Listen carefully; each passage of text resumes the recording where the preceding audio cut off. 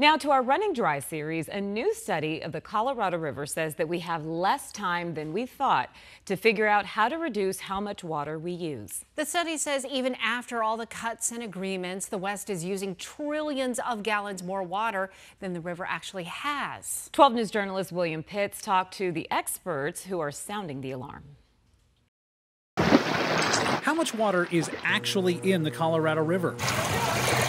Not how much is held back, saved, or on paper, how much wet water is there in the whole system, the river that stretches across seven states and the reservoirs. And the study says the results are grim. We continually find out that things are worse off than we thought they were. We're trying to catch up with hydrology and we're not catching up. Eric Kuhn at the University of Colorado Boulder is one of those authors. If next year is a repeat of this year and uses of water remain the same, they wrote, demand on the river will outpace the water supply by 3.6 million acre feet. One acre foot is the amount of water it takes to cover an acre of land one foot deep.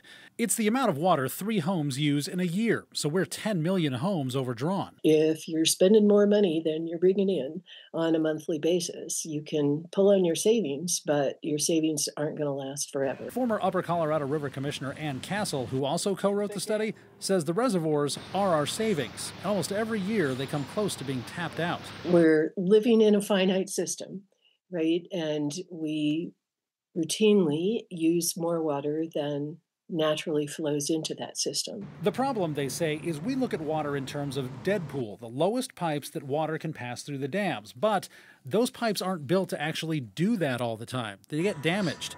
So the actual usable water is less than that. We need to provide for public health and safety, um, but there could be devastating impacts on agriculture, on industry, um, and uh, certainly on um, the the kind of irrigation that we're used to seeing in cities. The seven states that use the river have until the end of the year to come to a new agreement on how to use the water that will go into effect next December. So far, there's been no agreement. We can't wait for the states to finish an elusive and very difficult negotiating task to do something. We got to do something now. That's at the end of 2026. Do we even have that long? No, uh, we don't think so. We think we need to be prepared to reduce uses.